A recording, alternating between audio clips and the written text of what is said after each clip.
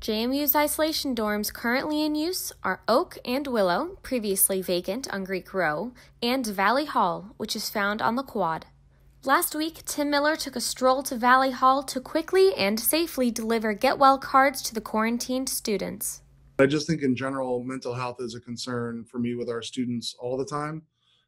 so, and then you add the, the extra layer of, hey, you're getting moved to a location for 14 days, you're with people you don't know, it's not your room that you really nicely decorated a few weeks ago.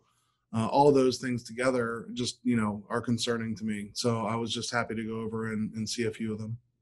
Once students hear from their positive test they head to an isolation dorm to start their 10-day quarantine. Many students filled with questions. I didn't know who to talk to when i like had questions. Like when i was like can i go get more clothes? Like i don't know where like the laundry is there's because there was no RAs, there was just no one to talk to you about any of it.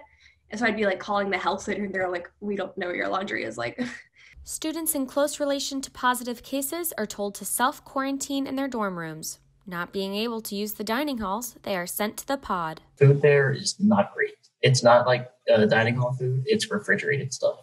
We were being delivered hot meals downstairs in like the common room wasn't great in the first place. So they took that into consideration and they gave us our own options to pick up food now, which, uh, in my opinion, was even worse.